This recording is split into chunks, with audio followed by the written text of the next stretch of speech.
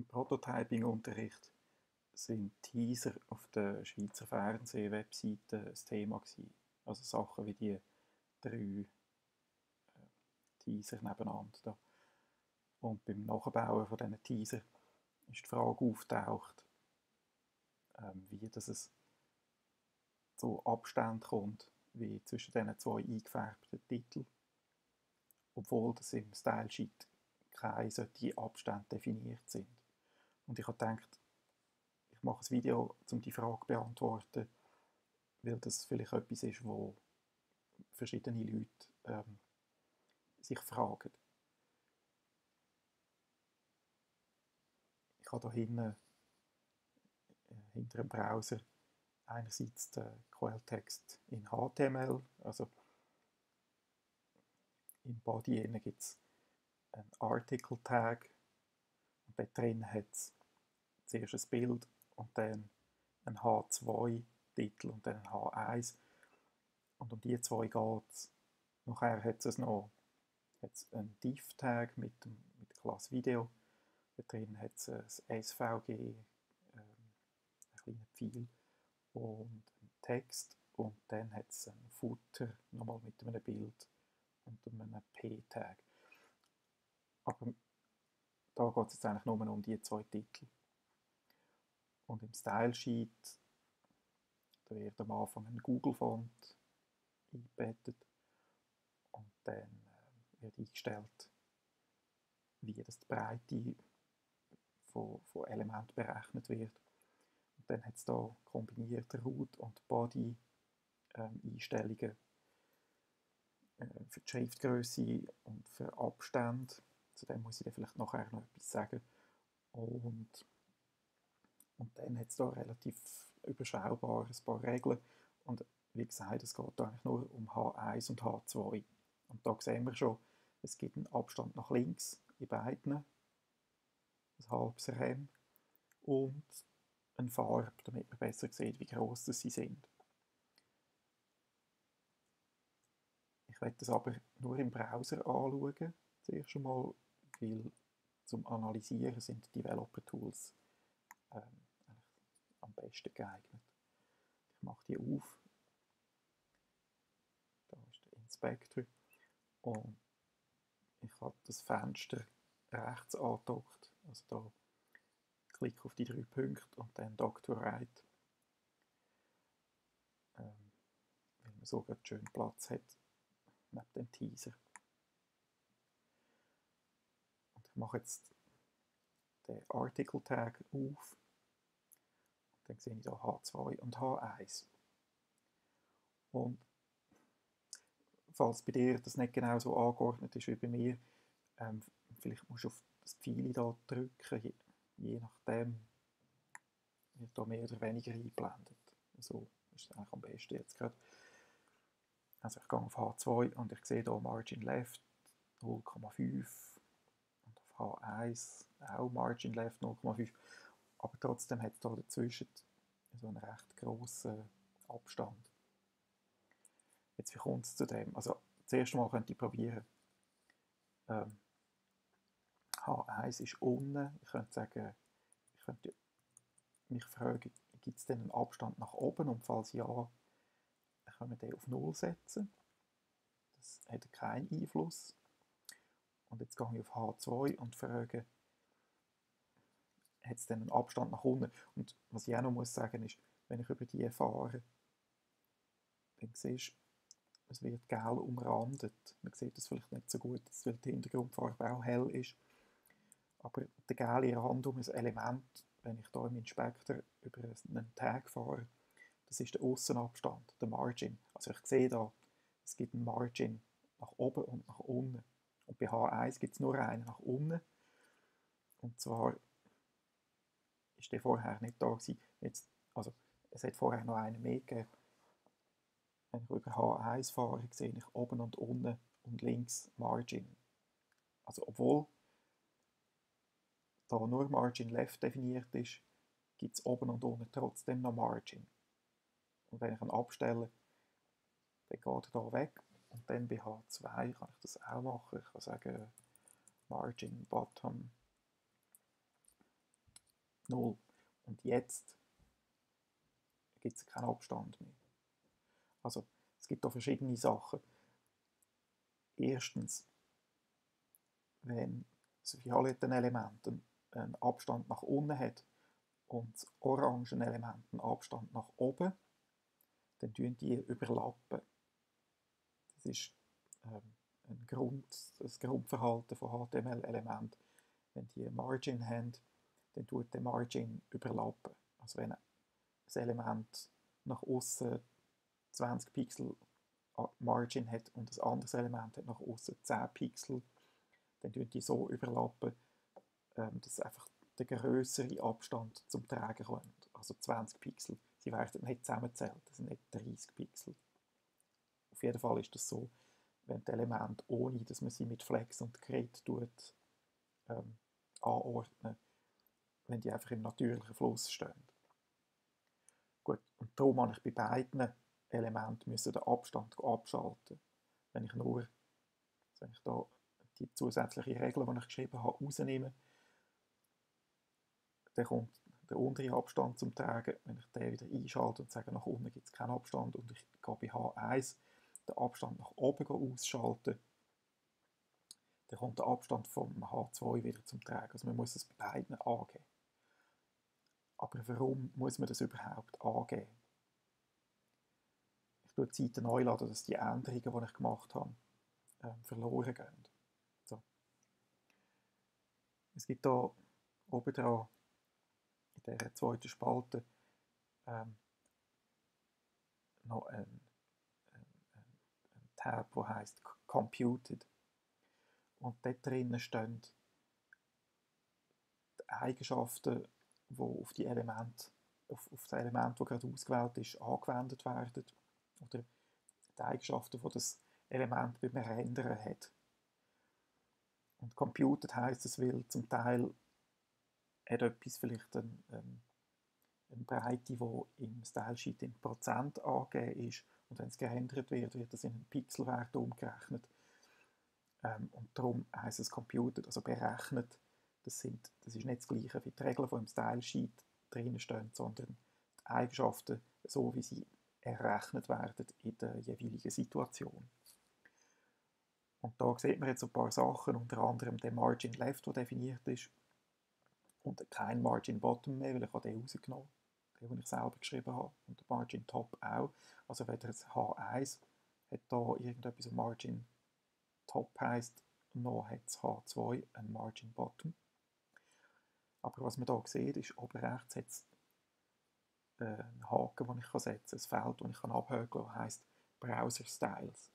Und das sind die Eigenschaften, die das browser-eigene Style Sheet enthält.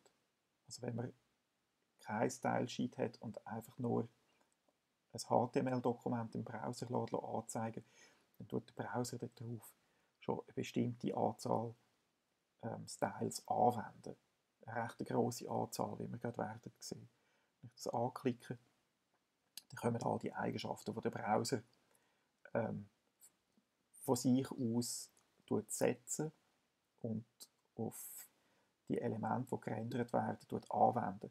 Und es gibt einen Haufen von denen, die auf Null oder nicht angeschaltet sind, aber im Grunde genommen sind es einfach alle möglichen Stile und die haben alle irgendeinen Wert, einen Grundwert. Und der Browser haltet sich an diese Werte, außer im Style Sheet steht explizit etwas anderes. Und dort drinnen sind eben auch die Margins um das zu finden, man könnte so die Liste alphabetisch durchgehen, aber es hat hier oben einen kleinen Filter und wenn ich den Margin reinschreibe, dann sehe ich hier Margin Bottom. Ich bin bei H2 jetzt, das ist der obere Titel. Es gibt hier einen Margin Bottom von 19,9167 Pixel. Ich gehe jetzt mal aus, davon aus, dass es 20 Pixel wären in der realen Welt. Da gibt es irgendeine komische Kommastelle. Ähm, aber wahrscheinlich macht's, spielt es keinen Unterschied, spielt es keine Rolle. Und ähm, es gibt einen, einen, Abstand nach unten, das ist wichtig. Und bei H1, wenn ich das gleiche bei H1 anzeige, dann gibt es einen Margin Top von 19, sowieso, also 20 Pixel.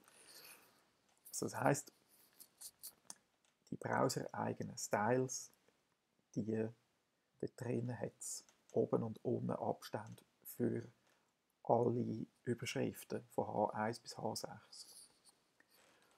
Und wenn man die nicht abschaltet, dann können einem die eben so in die Query kommen wie da jetzt. Also das ist die Erklärung dafür, wie es zu diesen Abständen kommt. Und jetzt mache ich das Fenster ein bisschen kleiner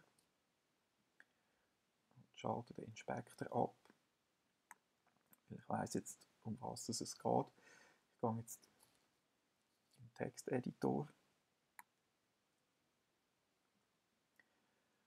und ich weiß jetzt, dass ich einerseits beim H1 noch müsste Margin wegnehmen. Und zwar dort ist das Margin Top.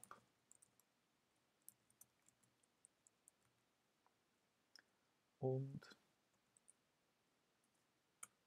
beim H2 ist das Margin Bottom. Müsste auf 0 gesetzt werden.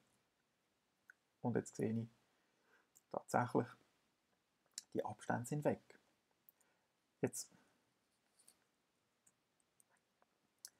Ich habe das auch schon erwähnt und jetzt ist vielleicht klarer, warum dass das etwas Gutes ist. Ähm, vielfach macht es Sinn, von Anfang an solche, solche Abstände abzuschalten. Ähm, und manchmal macht es Sinn, andere von diesen browser-eigenen Styles abzuschalten. Also, man kann das aufwendiger machen und ein, ein, richtig, ein, ein eigenes Style-Sheet machen, das einfach nur zum Reset da ist aber ähm, vielfach langt es einfach, die Abstände abzuschalten. Und ich mache das jeweils mit dem Sternselektor und schreibe Margin 0. Und man sieht jetzt, oder vorher habe ich die, die zwei Abstände wieder gelöscht und durch das hat es da dazwischen Raum wieder gegeben. Und wenn ich sie jetzt abspeichere, müsste es wieder weggehen. Genau sind jetzt noch andere Abstände zusammengeschrumpft. Aber es ist sauberer, man macht es so, also man tut auf, mit dem Sternselektor auf alle HTML-Elemente ähm, eine Regel anwenden, die sagt, ihr habt jetzt keinen Außenabstand mehr. Man könnte auch den Innenabstand mit Padding, auf 0, Padding 0 auf 0 setzen. Ähm, das, ist, also das ist eigentlich die Antwort auf die Frage, die gestellt worden ist. Und was ich noch wollte sagen ist, da unten gibt es so eine Vermischung oder ein, ein, eine Regel, die sowohl auf äh, die Wurzeln vom Dokument, also das ist der HTML-Tag in dem Fall jetzt, wie auch auf den Body angewendet wird. Und das kann man zwar so machen, aber ich würde es nicht unbedingt empfehlen. Ich finde es eine gute Sache, wenn man Selektoren mit Kommas zusammennimmt, um ähm, Redundanzen zu vermeiden im Style-Sheet und zum Platz zu sparen und gewisse Sachen zusammennimmt. Aber da finde ich jetzt, ist es ziemlich klar getrennt, ähm, welche Regeln sich auf welche von diesen Selektoren bezieht.